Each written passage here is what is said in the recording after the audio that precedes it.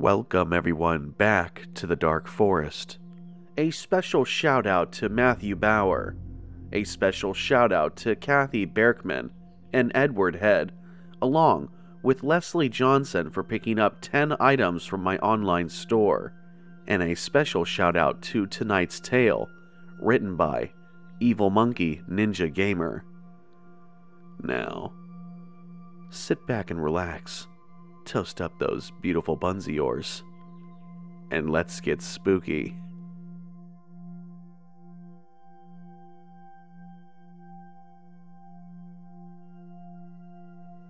What hides in the shadows under the moon?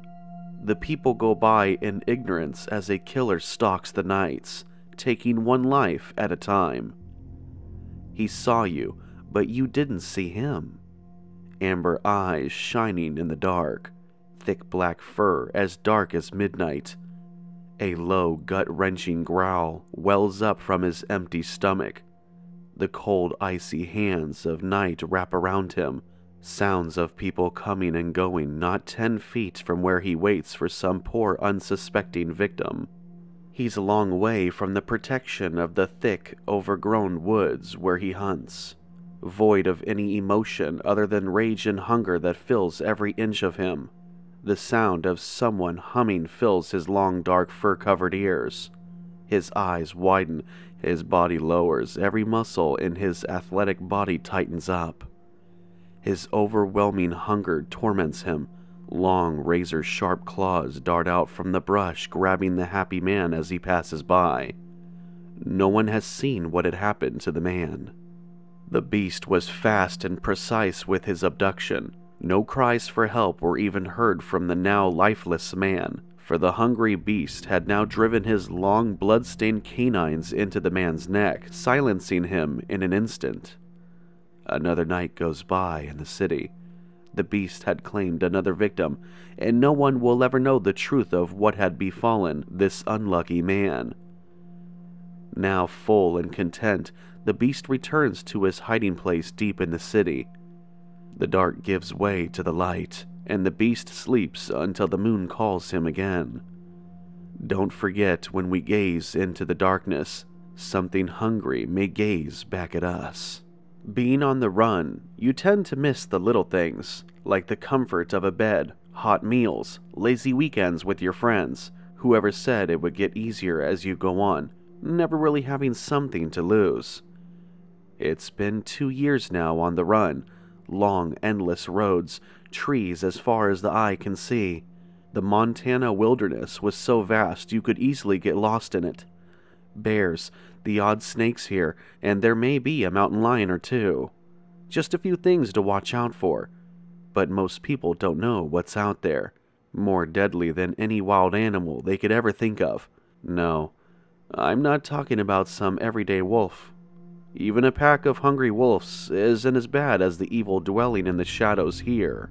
Up until two years ago, you couldn't get me to go camping, but here I am today, backpacking in the lonely, overgrown forest. Funny how things change.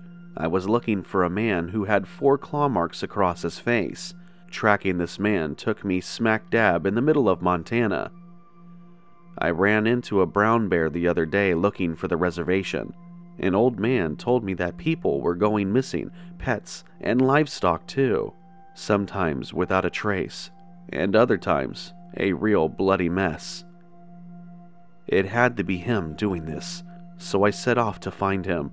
When the largest brown bear you have ever seen walks out looking angry at me for having disturbed him, he stops and puts his nose up high and sniffs the air, looking at me and then walking off. I guess he could smell the evil hidden within me, and didn't want to have any part of it. The funny thing is, it didn't scare me, not one bit. Thinking of it, I started to question my sanity. Is this a sign of me losing myself, or am I at the point where I just want it all to end, and don't care if I live or die at this point? Whatever it may be, I was just changing, but not physically, but also mentally as well. I was so tired, the long day had taken its toll on me. Having walked for so many long and hot days, I was happy to find an abandoned barn in the woods. It was run down, old, it didn't smell too good, but it was a welcome change from sleeping on the cold, hard, unprotected ground. It wasn't much, but it would do for now. I rested my head on the makeshift pillow of hay. I closed my weary eyes, and visions of the family I left behind came rushing into my thoughts. All the memories of better times danced around in my head. No, I can't think of that. That's a life for someone who isn't a monster. I will never hurt the ones I love. I have to keep going to find the one who did this to me, I think to myself as I lay there. The cold of the night crept in as the last of my thoughts left my head. It must have been a few hours when I felt as if every fiber in my being was going to burst into flames. I start to scream out as the pain filled me from top to bottom, but I can't. My mouth won't obey me. My eyes won't open. I can't scream or see. Nothing is working. What is this? My body's not mine. It's as if I'm locked in a cage of pain and torment. The burning is killing me. I feel my bones twist and turn, shifting inside of my skin. I want to rip it off. Oh, please, someone help me. Make it stop. Then it hits me. I was so tired, I forgot what day it was. The cycle had started again. I was turning into a beast.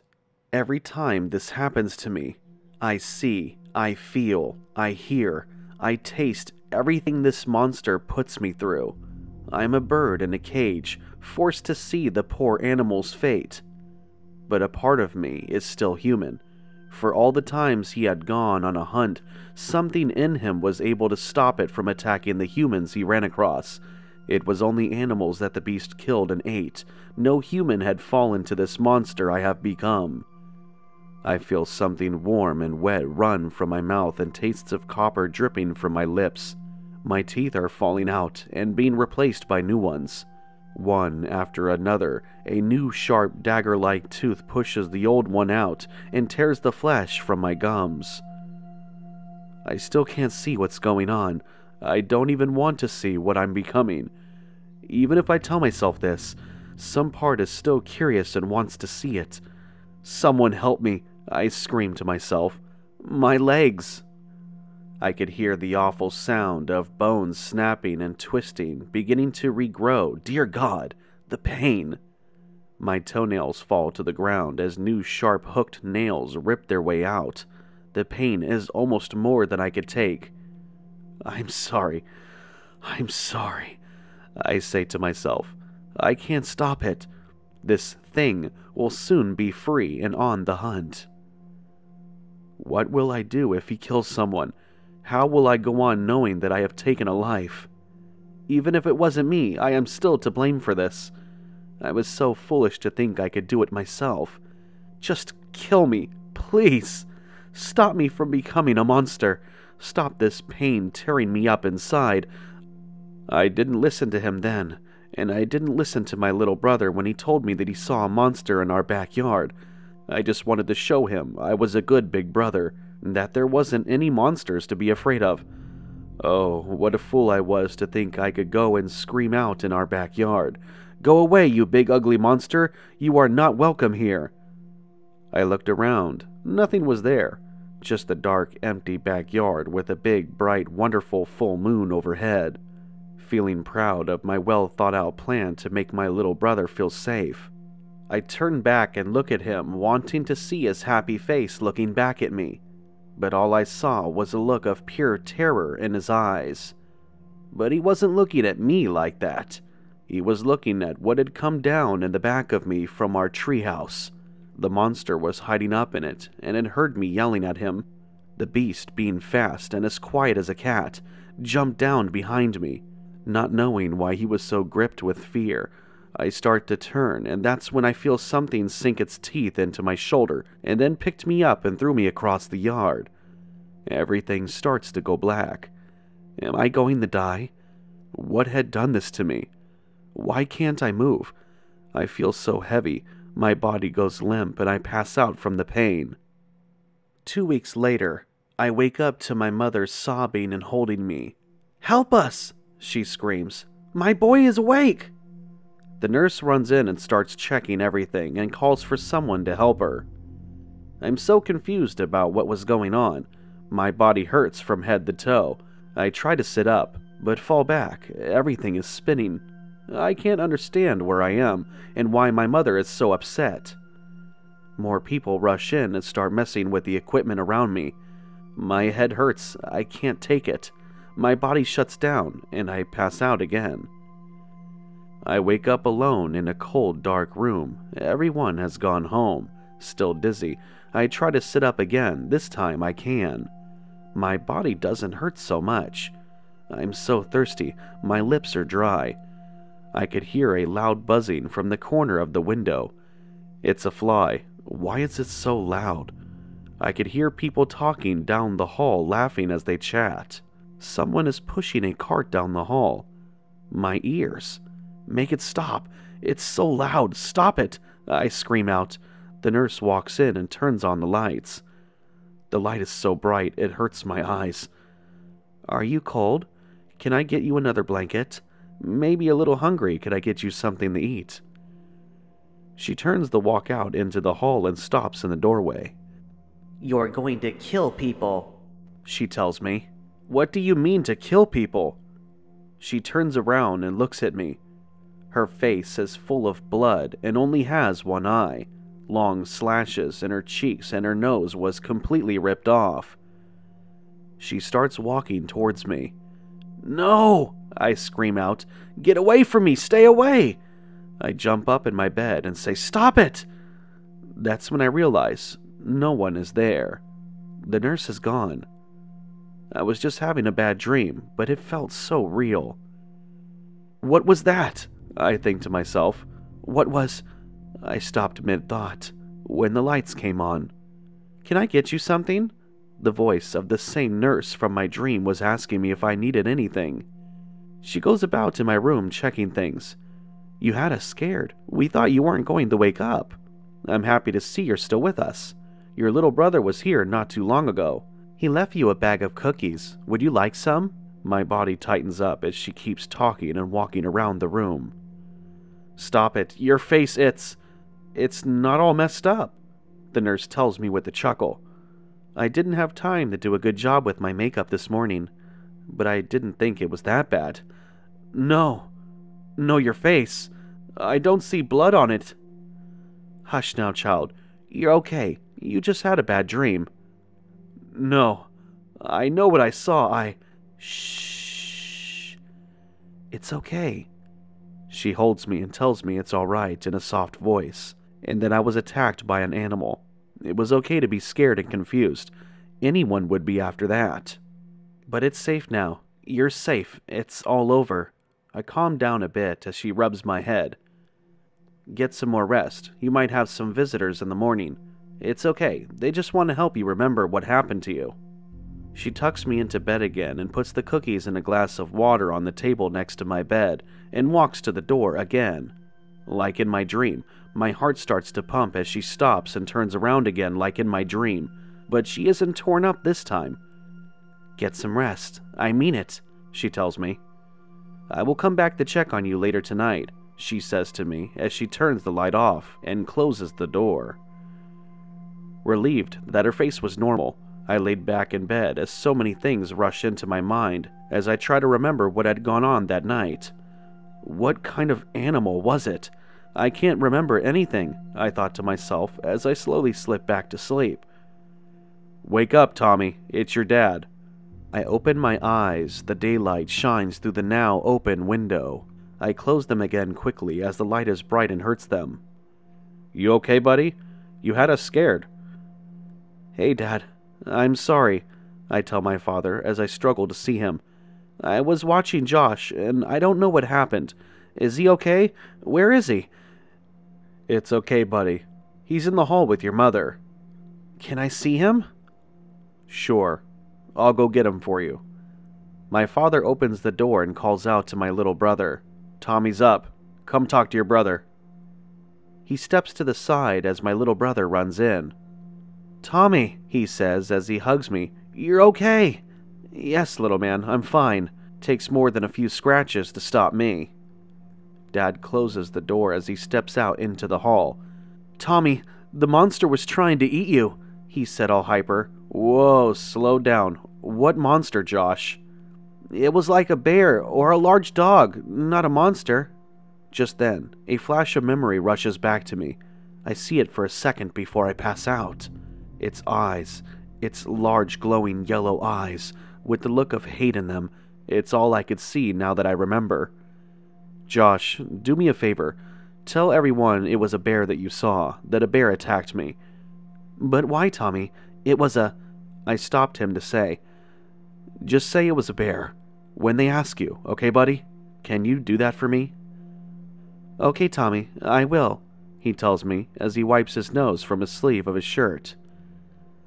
We can't tell people what we saw. They might split us up. No one will believe what we saw. They'll think we're crazy, and we can't do that to mom and dad. Okay, Tommy, he says again in a low tone. Now go tell mom and dad they could come back in. He hugs me tight and then goes to the door to tell them that it's okay to come back in. When a man in a long black coat walks in instead of my dad. Go see your mom's son, the man tells my little brother as he walks into the room. Josh looks at him and runs out. The man closes the door and lights up a cigarette. You know why you're in the hospital, right? I tell the man as he lights up. He takes a long pull on it and blows out at me. You're not going to die from a little smoke, son. Hell, I could smoke every one on me. You won't die, he tells me as he blows out another blast. The man was tall and slim with blue eyes and a black Stetson cowboy hat, with a long black coat wrapped around him. He looked like he had just stepped out of an old western movie. He must have been around in his fifties or so, as his wrinkled tan covered his face. It looked like he had worked out in the sun his whole life. Who does he think he is with that cowboy hat on? Clint Eastwood? Are you the police? I asked the man as he takes off his hat and puts it on the sink. No, son.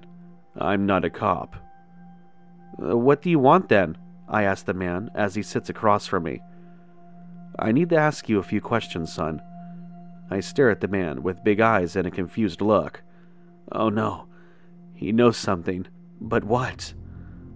Calm down, boy. You look like a hog about to be slaughtered. Like I said before, I'm not a cop. The animal that attacked you, did you see it, boy? I better play dumb. Don't want anyone to know what I saw. I looked at the man and told him with a surprised look. No, it was all so fast. I passed out before I could. Shut up, boy. I know you saw it.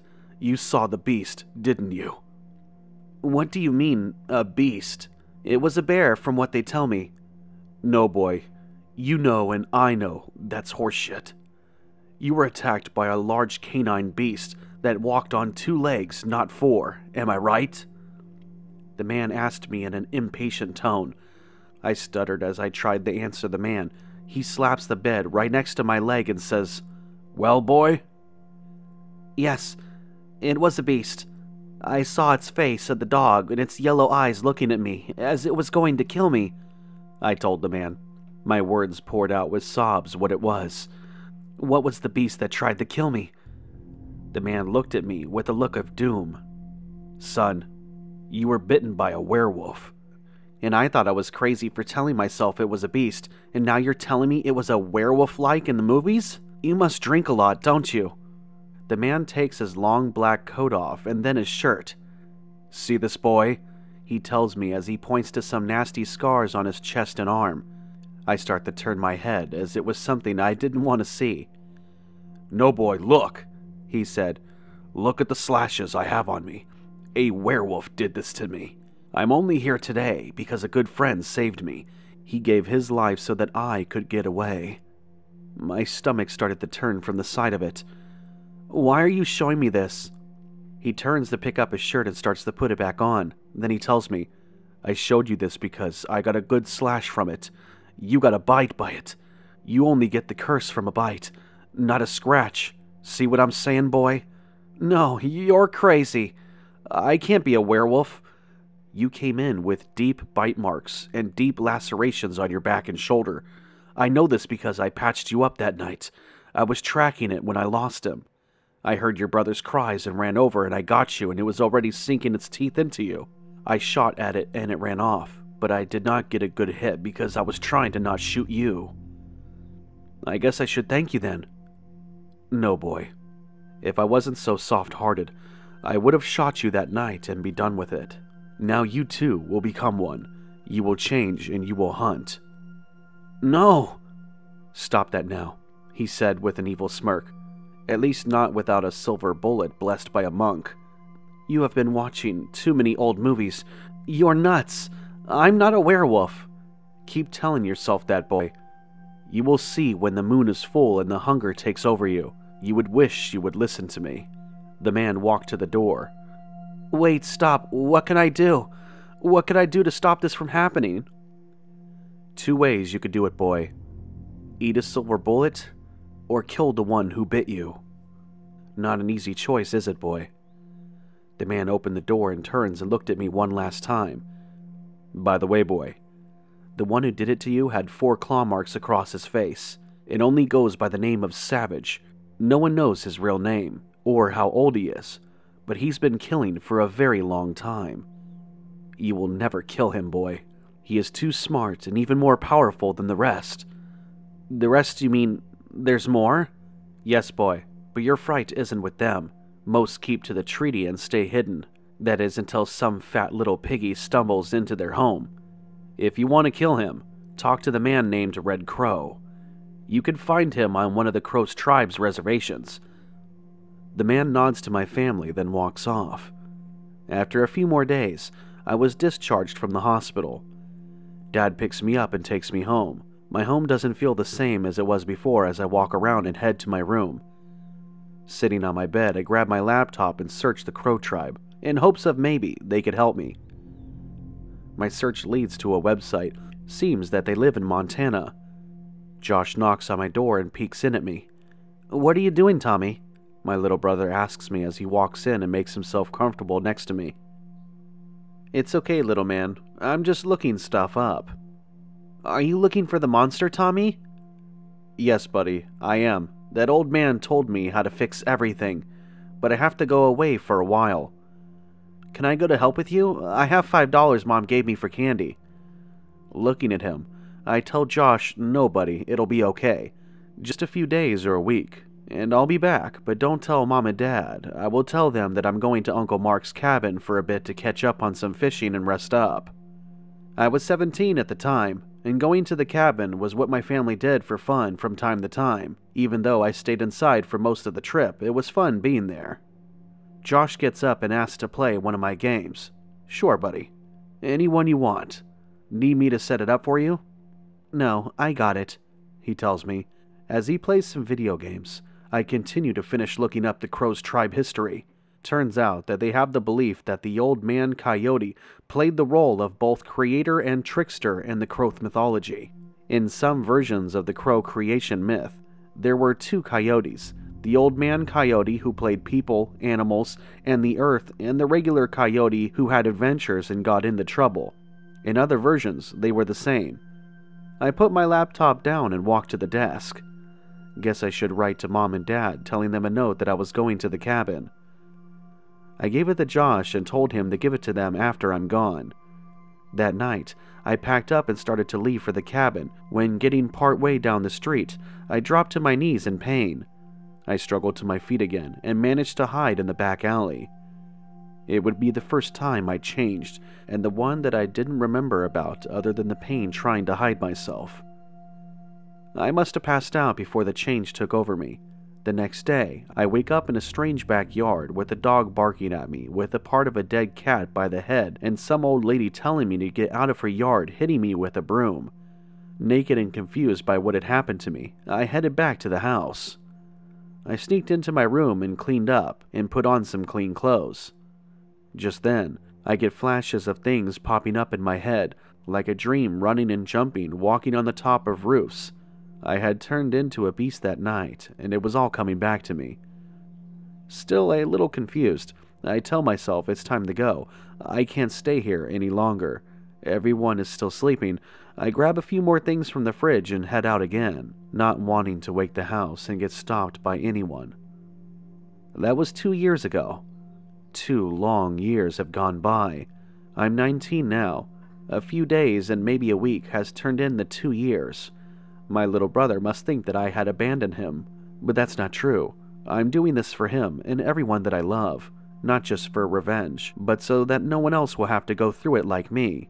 Having made my way to the Red Crow's home three weeks after leaving my own, having arrived on the reservation, I knocked on the door, and a guy with braided hair and a white t shirt comes to the door. Are you Red Crow? I ask him as he looks me up and down. Yeah, who's asking? I tell him my name. I'm Tommy, and I was told you might be able to help me. Do you know of a man known as Savage?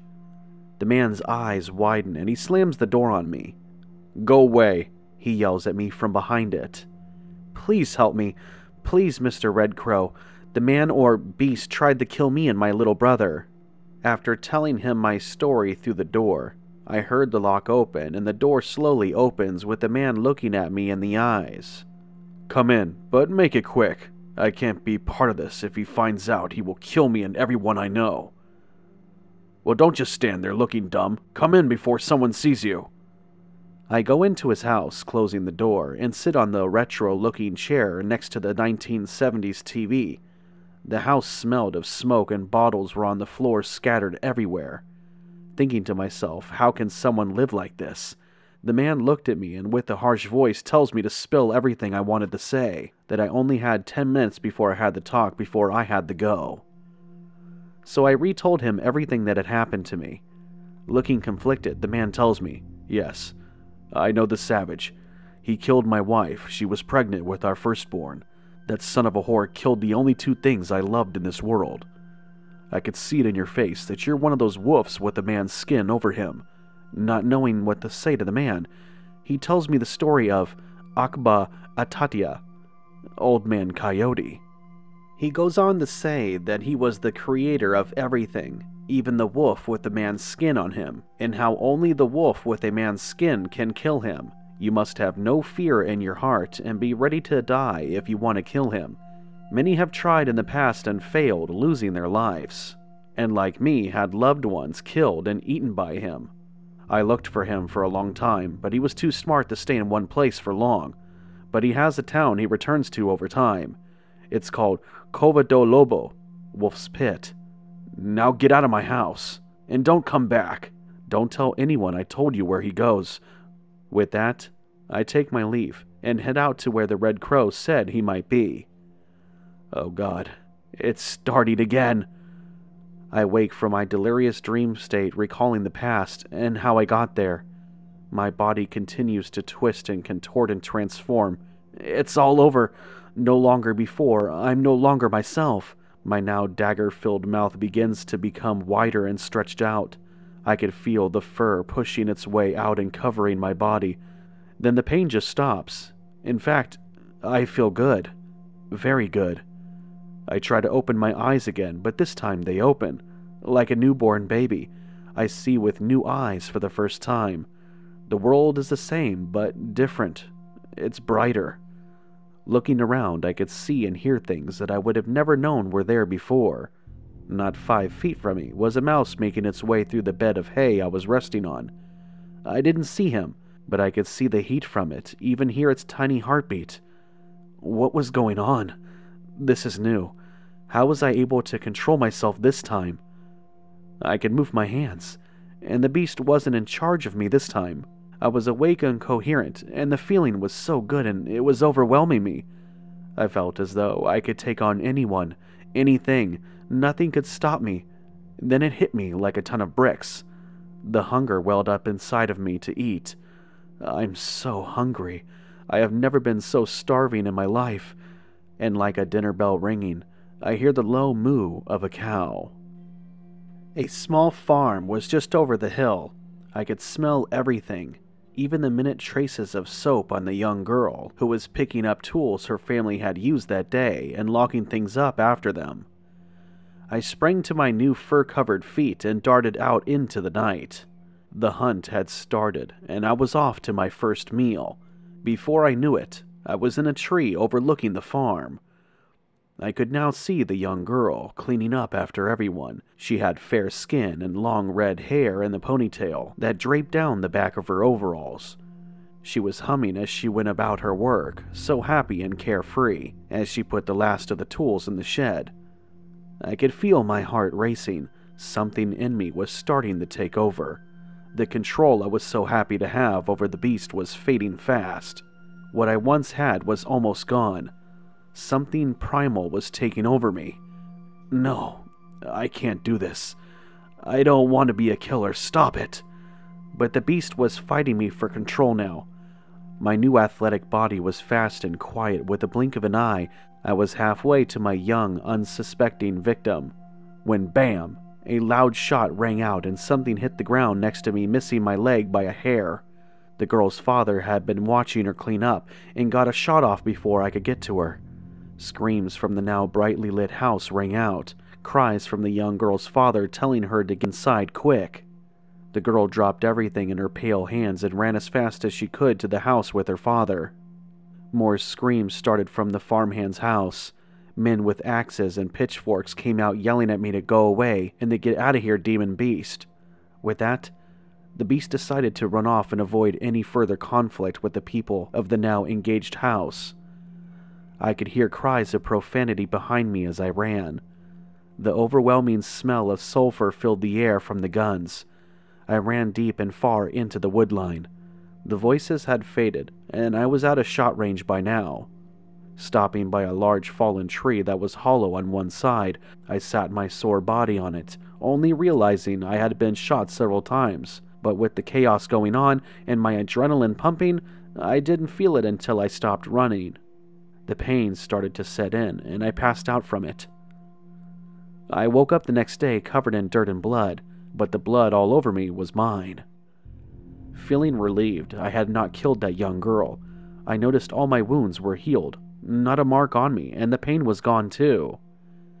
The curse was keeping me alive and healthy. In that instant, it hit me I was almost immortal. Only silver, decapitation, and another werewolf could kill me now. Not a happy thought. But now I know I could kill the one who did this to me. The man with the four claw marks across his face. The one who is known only as the Savage.